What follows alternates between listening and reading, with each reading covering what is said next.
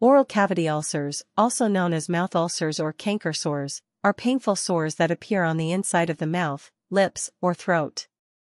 They can be caused by various factors, including trauma or injury, viral infections, bacterial or fungal infections, nutritional deficiencies, hormonal changes, stress. Causes 1. Recurrent aphthous stomatitis, RAS the most common cause of oral ulcers, affecting approximately 20% of the population. 2. Traumatic ulceration, caused by physical, thermal, or chemical trauma, resulting in damage to the oral mucosa. 3. Viral infections, such as herpes simplex virus, HSV, and hand-foot and mouth disease. 4. Bacterial infections, such as syphilis and tuberculosis. 5. Fungal infections, such as candidiasis.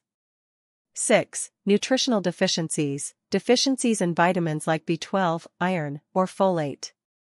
7. Hormonal changes, hormonal fluctuations during menstruation, pregnancy, or menopause. 8. Stress, stress can trigger or exacerbate oral ulcers. Signs and symptoms 1. Pain, oral ulcers can be painful, especially when eating, drinking, or speaking. 2. Appearance, oral ulcers can appear as small, round, or oval-shaped sores with a white or yellowish center and a red border. 3. Redness and swelling, the surrounding tissue may be red and swollen. 4. Difficulty eating or drinking, large or painful ulcers can make eating and drinking uncomfortable.